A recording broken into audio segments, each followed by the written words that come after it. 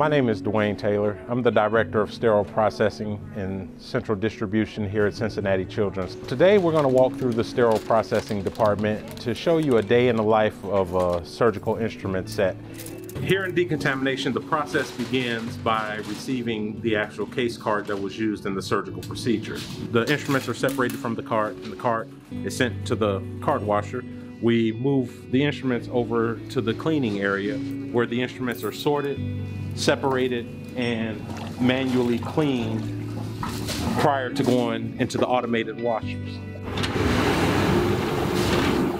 This is a far more technical role than simply washing dishes. There's a lot of regulatory requirements that we're uh, required to follow associated with the cleaning assembling and sterilization of the instrumentation.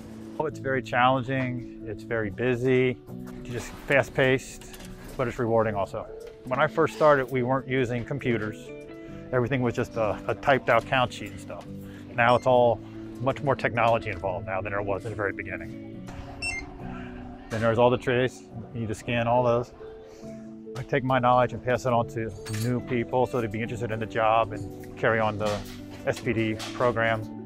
My name is Mi'Esa Mapp, and I have been working for sterile processing for five months. It has been challenging, but it's a learning opportunity because you learn new things every day. I'm saving the life by disinfecting and cleaning and making sure that there's no microorganisms or anything on the instruments or on the scopes. This is more than a job to me. This is a responsibility to the community.